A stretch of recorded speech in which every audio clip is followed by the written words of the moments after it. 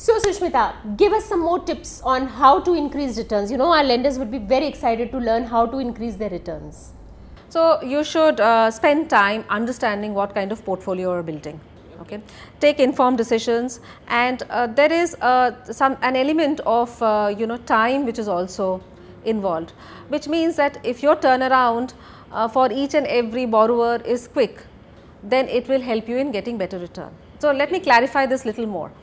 So what happens is in Faircent there is a uh, you know process of bidding where you know there are multiple bids that you are making.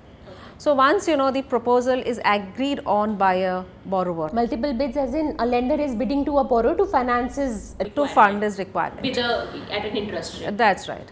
So there are multiple bids that the, these are being made. Now uh, whenever this such bids are made, this has to be accepted by the borrower. The borrower accepts them within the let's say first 24 hours. Then you have to quickly uh, you know keep the funds ready and get into a quick disbursal time. So uh, the most important thing over here is to make a proposal or fund the borrower at the right time and choose the correct borrower.